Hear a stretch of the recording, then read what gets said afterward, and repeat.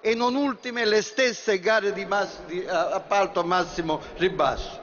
Ritengo che difendere e tutelare il nostro lavoro, professionalità e la qualità delle nostre Concluda. maestranze non rappresenti un'anacronistica forma di protezione, ma un preciso diritto e dovere della classe dirigente e del governo nazionale. Chiedo pertanto e concludo allo stesso esecutivo, che in verità si è già attivato sulla vicenda, di rafforzare la vigilanza e richiamare le aziende al rigoroso rispetto dell'obbligo per l'operatore di comunicare da quale Stato parte la, conver- la conversazione, di verificare l'obbligo per le aziende che vincono gli appalti di garantire Grazie, la salvaguardia onorevole Zappulla. occupazionale, di lavorare, ho finito, per Eh, ma- realizzare un contratto unico del settore cancellando i contratti civetta e pirata. Grazie, Presidente. grazie. Avete due minuti negli interventi di fine seduta e la Presidenza, se permettete, è piuttosto severa su questo. Onorevole Martelli, prego.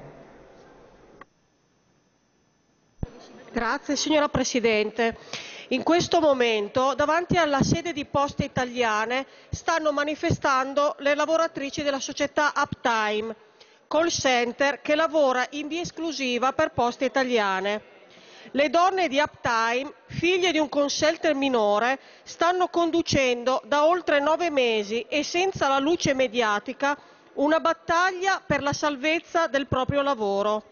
Un'ennesima storia di precarietà che inevitabilmente si scaglia sulle donne rendendole vulnerabili.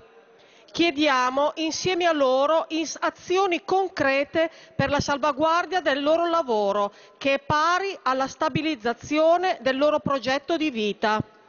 Azioni concrete per non aprire in questo Paese una stagione dove ci sono figli di diritti minori.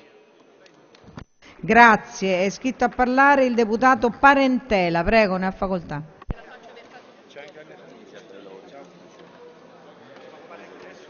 Grazie Presidente. È vergognoso il fatto che anche quest'anno mancano i dati di ben cinque regioni, Molise, Puglia, Campania, Basilicata e Calabria, relativi al rapporto dell'ISPRA sulla contaminazione delle nostre acque da pesticidi.